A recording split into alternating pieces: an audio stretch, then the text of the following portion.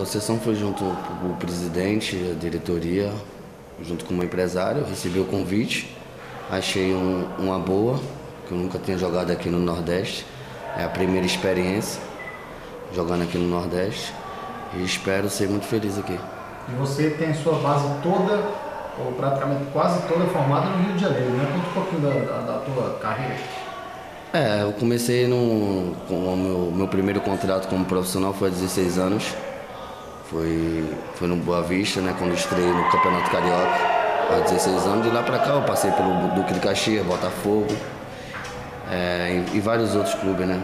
Como Guaratinguetá também São Paulo. Tive um, um convite para disputar um torneio na Turquia, onde a gente ficou em terceiro lugar. É, e outros clubes que eu vi que eu. Mas a minha carreira mesmo que eu, que eu mais decolei foi no, foi no sul, foi no Rio de Janeiro.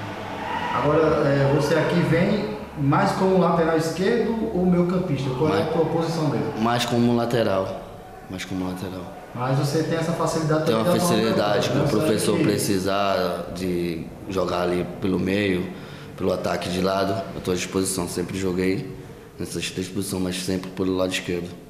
Agora a gente sabe que pouco tempo, né? Você chegou aqui na cidade, mas já deu para conhecer alguém aí? Já conhece o trabalho do, do Celso também?